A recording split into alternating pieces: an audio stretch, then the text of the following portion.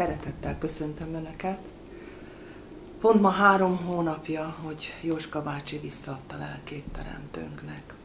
És pont egy éve, hogy a szokásos havi beszélgetéseink, két-három hetente, egy havonta megtörténő beszélgetéseink témája szaknyér volt. Jóska bácsi felidézte mindazt, ami számára szaknyér, annak a lelkületét, annak a szellemiségét, annak az üzenetét, annak a hagyatékát, és mindazt, amit ő is gondol erről a csodálatos udvarházról. Akinek megvan a Van, aki bennem tovább él című hitvallása, önéletrajzi könyve, talán emlékszik is ezekre a gondolatokra. Édesanyám szülőfalujához, Pankaszhoz közel van egy kicsi falu szaknyér, ahol elkezdtem házat építeni. Ez a ház nem kitalált, hanem az ott lévő régi építészet folytatása. Aki ezt a házat megnézi, benne jár, az tudja, hogy semmiféle arhaizálás nincs benne, de azt is tudja, hogy semmiféle ellépés abból nincsen. Ami évszázadokon keresztül fontos volt, a legkisebb változtatás nélkül történt meg.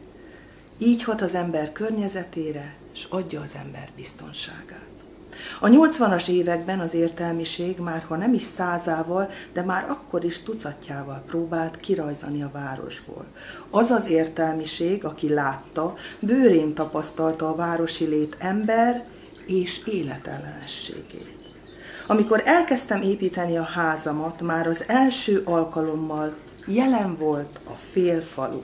Mi sem volt természetesebb, hogy a Pankasztól 7 kilométerre lévő szaknyérban lévő rokonaim, harmadíziglen sógor és koma jöttek segíteni, és együtt dolgoztam velük. Sokan eljöttek az Örökség névfőiskolát látogató fiatalok közül is. Együtt csináltuk, építjük ezt a házat. Igen jó iskola ez. Ezt is megtapasztalhatták azok, akik egyetemistaként vagy fiatal értelmiségiként ott segítettek ennek a háznak az építésében. Ez a ház azóta is maga módján népfőiskolaként működik. És azt szeretném, ha mindenféle intézményi jelleg nélkül ez így is maradna. Jóska bácsi ezeket erősíti meg a tavaly májusi gondolataiban, és aki tudja, hogy az élet azóta mit hozott, ezt a házat tavaly júliusban eladták, azzal a felkiáltással, hogy szükség van a pénzre, Jóska bácsi gondozási díjának kiegészítéséhez. Na most ehhez képest november 7-én szeretett otthonba került, ahol három és fél hónap alatt a lelke nem, de teste feladta a küzdelmet és a várakozást, hogy újra hazakerülhessen, hisz úgy tudta, hogy csak három napos kivizsgálásra kerül be így 2022. február 21-én itt hagyott minket testében, de lelkében, szellemiségében itt van, és itt lesz velünk az idők végezetéig. Hallgassák gondolatait olyan szeretettel, amilyen szeretettel ő fordult mindig felénk, tanítványai, barátai felé. Isten áldja önöket! Szoknyért építettem egy házat. Szóval amikor terveztem, Klári kedves, hogy oda költözöm, hogy az életemnek hátralévő részét azt ott töltöm le. Ez valamikor sok mindent terveztem. Hát azt nem tudom én, hogy szaknyerminek örülnek, én örülnék nekik, Lári kedves. Igen, örülnék annak, hogyha az én alkotóházam lehetne. Szaknyerral terveztem a jövőmet, terveztem azt, hogy ott élem le még azt, ami hátra van nekem, és ott formálom meg ott formálom egészé azt a gondolkodást, ami bennem csirájában már régóta megvolt, ami alakította életemet, oda terveztem Klári. És úgy gondoltam, hogy mintáját tudom adni annak a falunak, annak a magyar közösségnek, amely keresztény és valóban, valóban magyar. Ez számomra fontos, hogy magyarnak születtem, tudod? Tudom. Számomra fontos, hogy létezik ez a nép, és ennek a világnak is fontos, hogy létezik ez a nép, és léteznie kell a jövőben is. És hogy én mennyit tudok ehhez hozzátenni, azt nem tudom.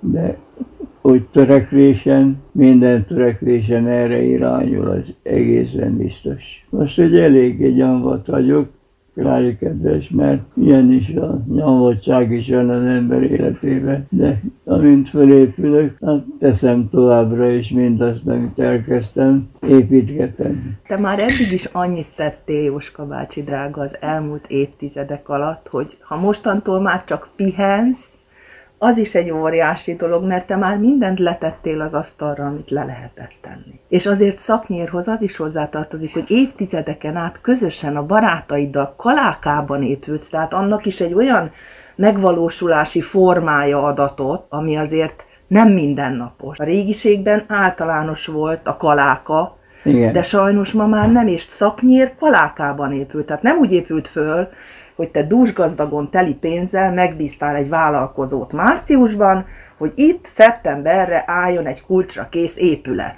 És fogtad magadat, és szeptemberben Etelka nénivel bevonultatok a kézbe. Igen. Hanem éveken, évtizedeken át a két kezed, meg a barátok, tanítványok segítségével igen. valósult meg, ezért is áll annyira közel, többek között a szívedhez. Igen, igen, igen, igen, így olyan Klárikedő. És jó volt együtt dolgozni. Mennyit maráskodtunk, mennyit beszélgettünk, mennyit levegtünk a beszéddel ott a fellegekben, mennyit tervezgettünk. És hát ott vagy megörökítve a gondolkodó Krisztus szoborral. Igen, ez óriási nekem.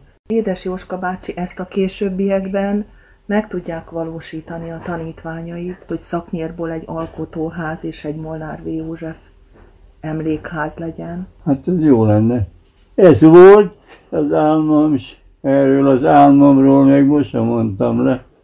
Jó Isten, ez kicsit adjon erőt. Erőt még, hogy fölépülhessek, fölépülhessek, és folytatom tovább ezt a munkát, amit eddig tettem, ha kicsit más formában akkor is, mert nekem ez az életem, és ebbe beletartozik, szervesen beletartozik, amit mondtál szaknyérről, szervesen. Most egy csöppe gyönge vagyok. Egy picit inni szeretnél, drága Jóska bácsi? Egy kortyvizet szeretnél inni? Kérek szépen. Itt van ez a kis kulacs. Kedves egészségedre, drága Jóska bácsi. Klára kedves, amit Igen. elmondtam neked az előbb, az nem csak képzelődés. Szaknyírról? Jóska bácsinak nekem életem tartalmát adta. Szaknyírral kapcsolatosan mondod? Hát abban egy létező, egy lény rajtam kívül. Igen, igen.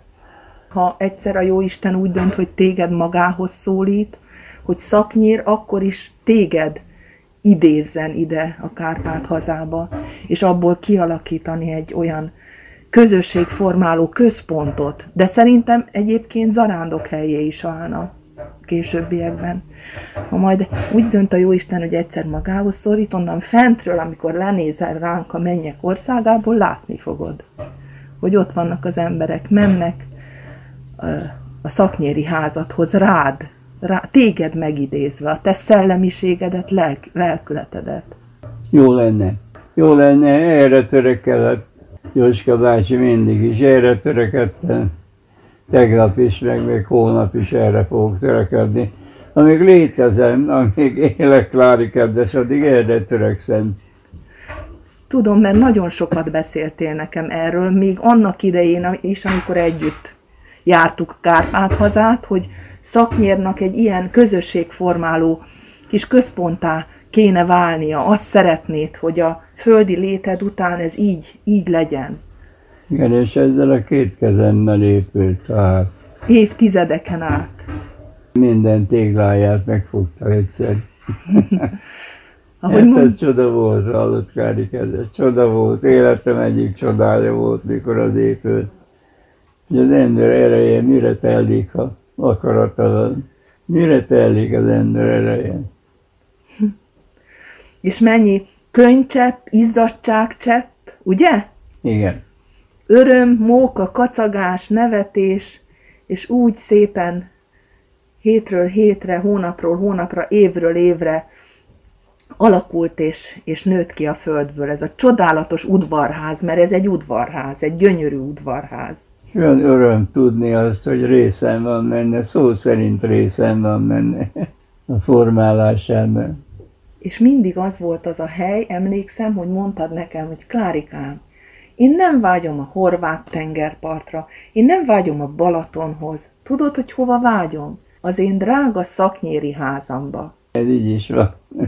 És azt is milliószor mesélted, nem csak nekem, hanem előadásokon is, hogy amikor Etelka nénivel lementetek három hétre, négy hétre nyáron, amikor hosszabb időre, de többször is volt az évben, hogy heteket ott töltöttetek, Igen. akkor ahogy az autó megállt a ház előtt, te kipattantál az autóból, és futottál a rég nem látott fáit felé, hogy megnézd, hogy hogy növekednek, hogy alakulnak.